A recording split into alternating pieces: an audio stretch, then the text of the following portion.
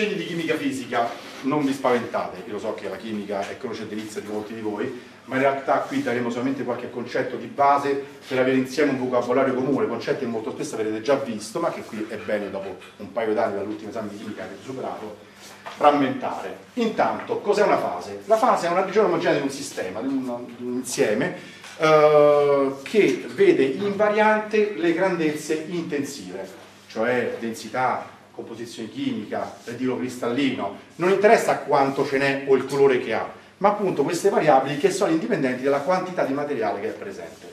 Possiamo avere a che fare con sistemi omogenei, cioè sistemi costituiti da una sola fase, o molto più frequentemente con sistemi eterogenei. Leggendo è un sistema costituito da due o più fasi, un sistema eterogeneo deve avere diverse fasi presenti all'interno.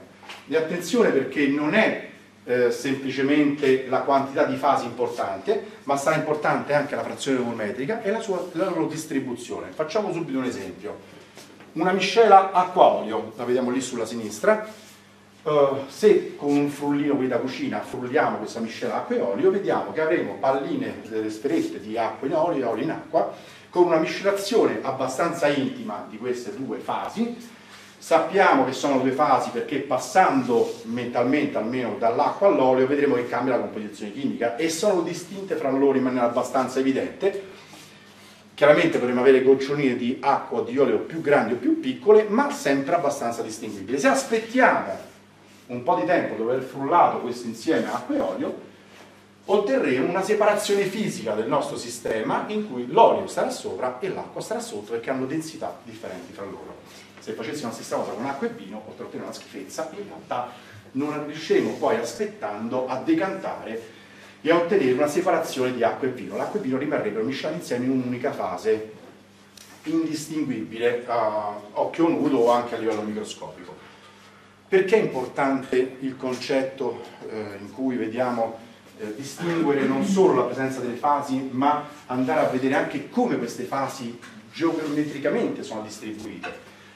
Ebbene, questo nel campo della metallurgia è molto spesso la base del differente comportamento meccanico. Noi spesso vedremo, ad esempio negli acciai, la presenza di due o più fasi e vedremo che al variare della morfologia di queste fasi cambierà completamente il comportamento meccanico.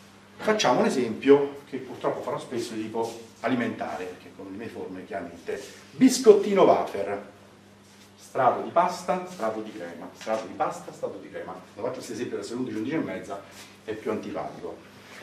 Se prendo questo biscottino e lo spezzo, ho un sistema a flessione in cui ho sostanzialmente la pasta che mi dà la resistenza meccanica e diciamo la crema mi dovrebbe dare un po' di scivolamento sostanzialmente. Se gli do un morso, per esempio, e qui cominciamo ad andare un po' più sul pericoloso dal punto di vista dell'appetito, sento il crunch, d'accordo? Il dente penetra uno strato dopo l'altro che troverà uno strato di pasta, uno strato di crema, uno strato di pasta, uno strato di crema. Immaginate invece un biscotto un po' diverso, fatto magari dalla stessa quantità di pasta ma fatta a reticolo e la crema fatta a pallina all'interno. Il comportamento a flessione, al mozzico, sarà completamente differente. Invertiamo una specie di cioccolatino fatto di crema con delle palline dentro di pasta, stesse frazioni volumetriche, il comportamento sarà completamente diverso. Quindi la distribuzione delle fasi, la presenza delle fasi non solo è importante per la loro presenza, non solo è importante per quello che è la loro quantità, le, normalmente andiamo in modo a dimensionare le frazioni volumetriche, 50%, 50%, 30, 70, 60, 40, ma sarà importante e spesso in maniera preponderante sul come queste fasi sono distribuite all'interno del nostro sistema. Quindi, vi ripeto, fase, eh, sistema omogeneo, sistema costituito da una sola fase, sistema eterogeneo da due più fasi. Potremmo dire, beh, allora il sistema omogeneo è semplice semplice? Mica tanto, perché in realtà eh, immaginiamo un sistema fatto solo da pezzi di cioccolata, d'accordo? Un conto è cioccolata a pezzettoni grossi 4 cm e un conto sistema fatto con cioccolatini piccoli piccoli piccoli da un millimetro, d'accordo? se provo il dito a ficcare dentro il dito avrò una risposta meccanica diversa perché le dimensioni di queste particelle sarà diversa. Perché sto facendo questo esempio? Perché per esempio un acciaio inossidabile ferritico con una struttura, vedremo più avanti cosa significa, con una struttura cubica a corpo centrato, la dimensione della grana cristallina, nonostante sia tutta ferritica, potrà cambiare da pochissimi micron a decine di micron e al variare della dimensione del grano cristallino il mio acciaio si comporterà in modo diverso. Come faccio a cambiare la dimensione del grano cristallino? I trattamenti termici svolgeranno un ruolo fondamentale. Quindi d'accordo con l'esempio un po' sciocco del cioccolato, del biscottino, abbiamo tirato fuori un concetto abbastanza importante, cioè che il sistema sia omogeneo e che sia eterogeneo, importantissimo sarà la dimensione delle particelle che verranno a essere presenti nel nostro sistema, nel caso del sistema eterogeneo sarà importantissimo come queste particelle si distribuiscono all'interno del nostro sistema.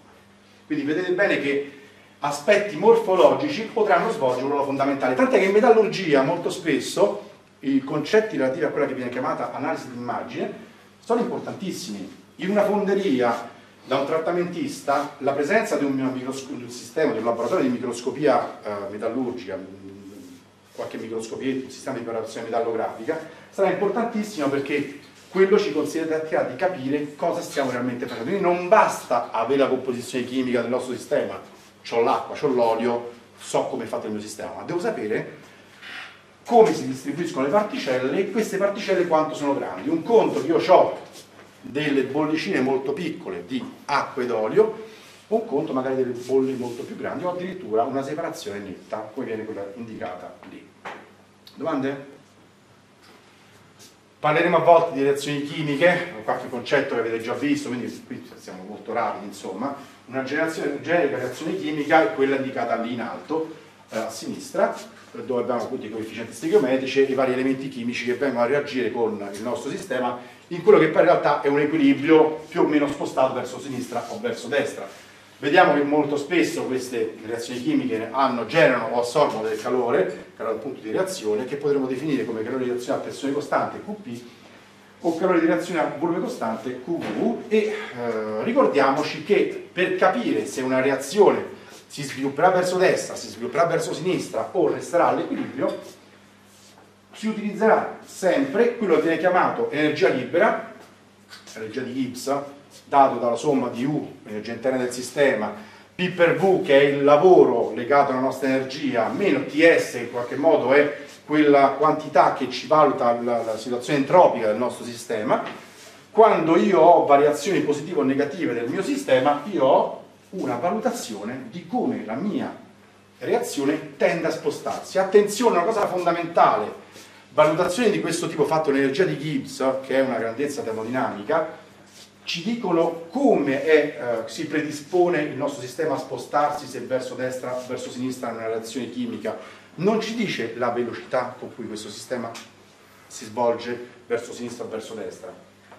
La stessa reazione chimica che ha una variazione di energia di Gibbs eh, positiva o negativa può svilupparsi in maniera esplosiva, cioè in pochissimi millisecondi, o nell'ambito di aree geologiche indipendentemente dalla variazione delta G ad essa associata. Quindi la termodinamica ci dice se un evento è possibile e può procedere spontaneamente o no. Una valutazione termodinamica non ci dice assolutamente nulla sulla sua cinetica, cioè su quanto rapidamente ciò possa avvenire. L'esplosione è chiaramente un esempio molto lampante di una reazione chimica molto rapida, in realtà in, termo, in metallurgia vedremo che avremo delle trasformazioni all'interno dei nostri sistemi, che sono sempre sistemi condensati, eh, sistemi condensati o al massimo liquidi, vedremo che potremo avere delle reazioni che avvengono in pochi secondi oppure delle trasformazioni che avvengono nell'ambito di giorni, settimane, mesi. Il fatto che una trasformazione o una precipitazione, vedremo fra poco, avvenga in mesi, per noi non è meno importante. Perché? Beh, perché in realtà nella vita per esempio di un pezzo in acciaio sarà sicuramente importante sapere durante il trattamento termico che svolgiamo al trattamentista quello che avviene e in che termini avviene. Ma attenzione, poi quel pezzo va in esercizio.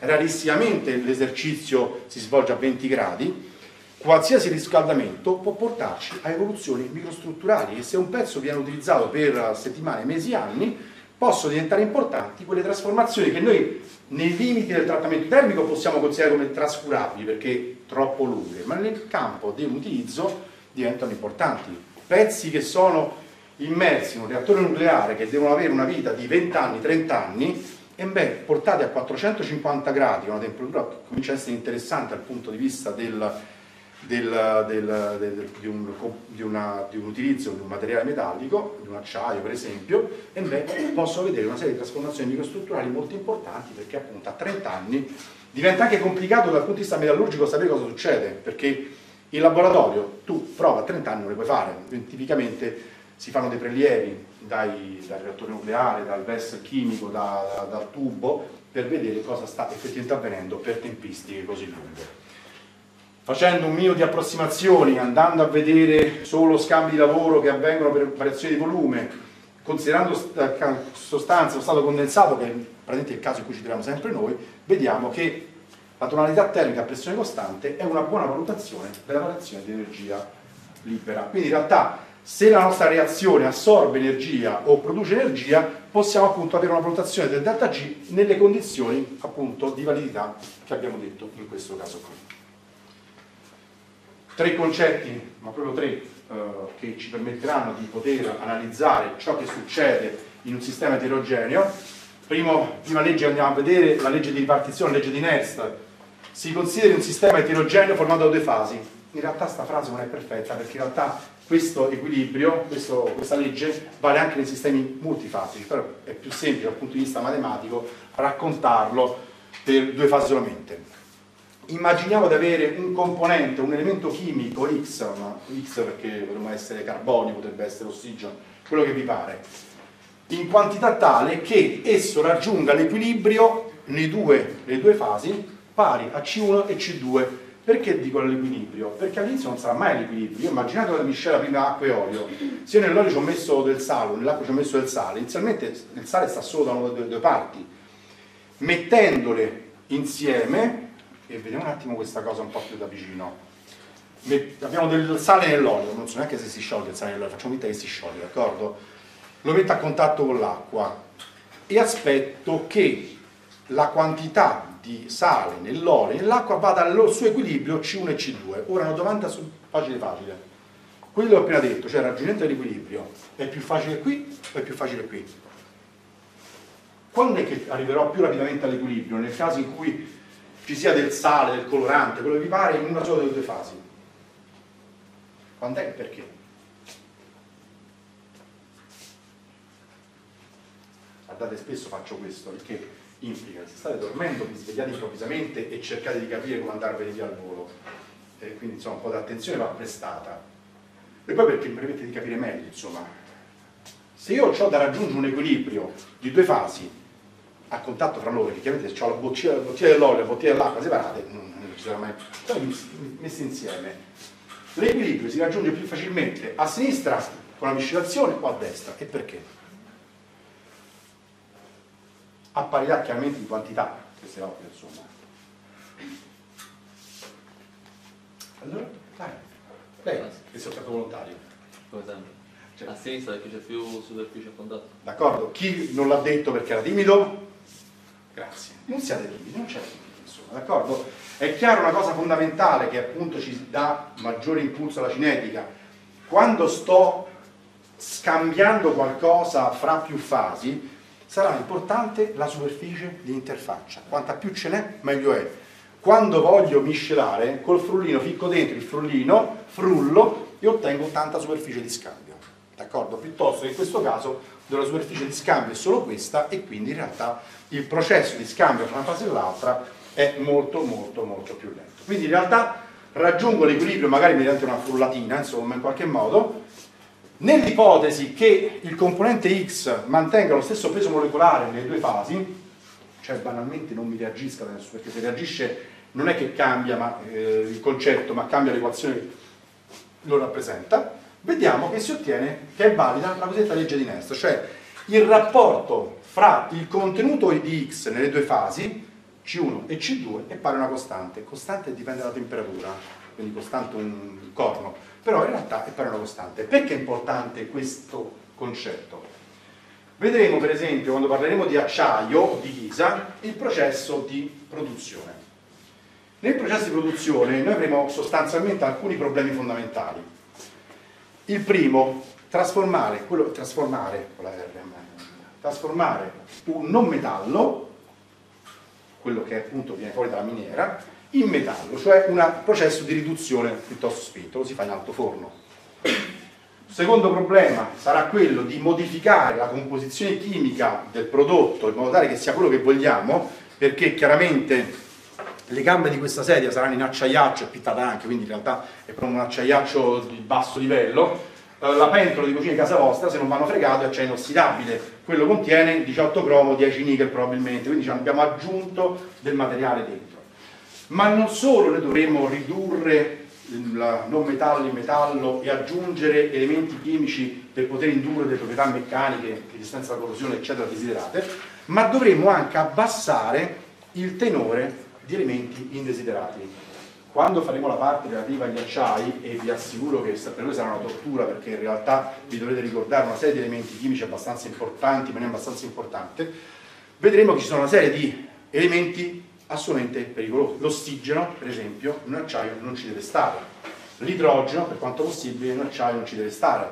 Altri elementi possono avere effetti positivi o negativi a seconda delle condizioni lo zolfo non ci deve stare in un acciaio, il fosforo non ci deve stare in un acciaio.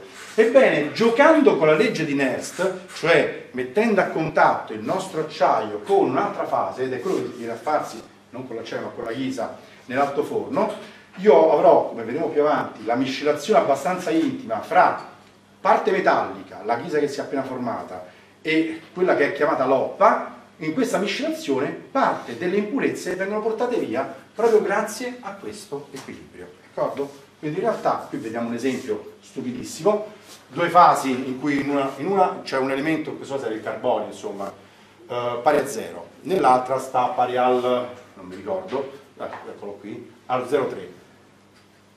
Miscelo, quindi porto il sistema in equilibrio, applico la legge di Nernst ipotizzando un rapporto un L pari a 14, al termine avremo che quasi tutto quanto il nostro carbonio è passato nella fase verde, quindi abbiamo scorificato, abbiamo ripulito la fase gialla o verdina, qual dir si voglia, per arricchire in un elemento per noi indesiderato la fase che poi andiamo chiaramente a scartare. Quindi avete capito quindi che questa legge di Nernst è veramente molto importante laddove abbiamo un equilibrio fra due quantità, eh, fra due eh, fasi un elemento che possa essere più o meno indesiderato. In realtà non è solamente una cosa legata alla, alla presenza di elementi indesiderati, vedremo quando faremo appunto gli acciai polifasici, ma basterebbe parlare di acciaio con osside e ferrite per esempio, che essendo queste due fasi caratterizzate da reticoli cristallini diversi fra loro, gli elementi chimici aggiunti tenderanno a spostarsi laddove gli fa più piacere essere presenti, ma questo la vedremo un po' più avanti. Teorema di Gibbs, questo lo avete sicuramente già fatto, fate così con la testa, con la testa, bene, non ve lo ricordate, fate con la testa, non lo ricordate sicuramente, non mi interessa se ve lo ricordiate o meno, l'importante è vedere come ci si arriva e praticamente a che serve. Il teorema di Gibbs, la regola delle fasi praticamente, ci dice la varianza all'interno di un diagramma di fase. Se vi ricordate noi avevamo delle zone, voi avevate perché l'avete fatta chimica poco tempo fa, zero varianti, monovarianti, bivarianti, eccetera, andando su sistemi ancora più fasi. Cioè, cos'è la varianza di un sistema? È il numero di eh, parametri che posso modificare senza che macroscopicamente si trasformi il mio sistema. Cioè, due fasi ce avevo prima, sposto la temperatura, continuo ad avere sempre due fasi. Quindi ho cambiato un parametro ma non mi si è trasformato. Come arrivarci? Abbastanza semplice. Se C è il numero di componenti indipendenti, M è il numero di fattori fisici, tipicamente 2, temperatura e pressione, anzi nel caso di sistemi condensati, per la stragrande maggioranza dei casi, per voi, cioè in metallurgia, sarà solo 1, cioè la temperatura. Perché dico la stragrande maggioranza dei casi?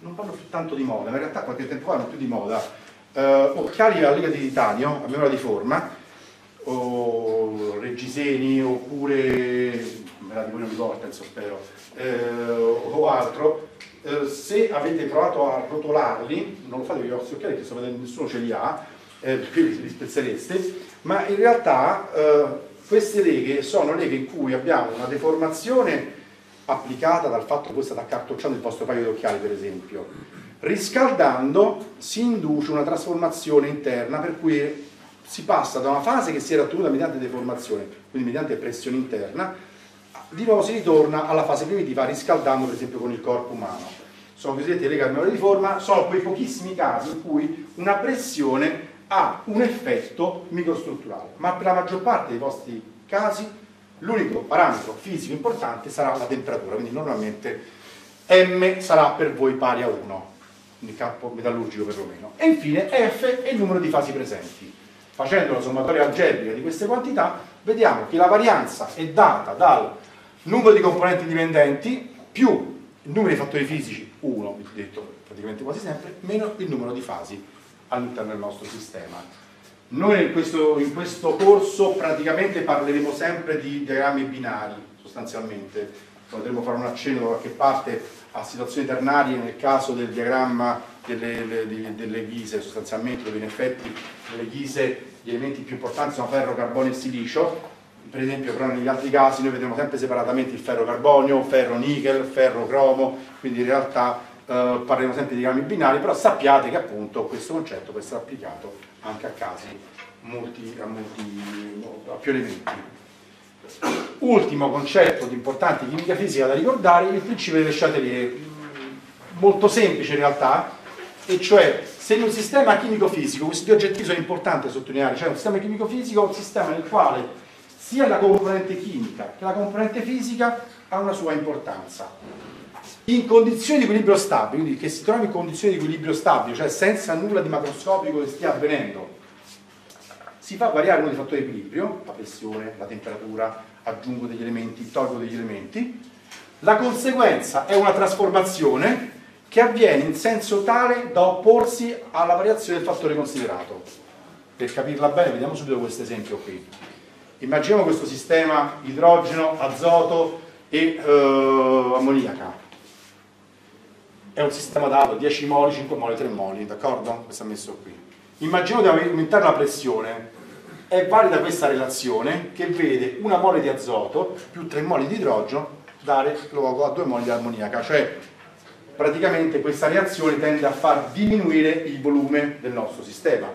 Se io aumento la pressione, per il principio delle Chatelier, tendo a far spostare questa reazione verso destra, perché tendo a far abbassare la pressione indotta dall'esterno, diminuendo il numero di moli presenti di gas.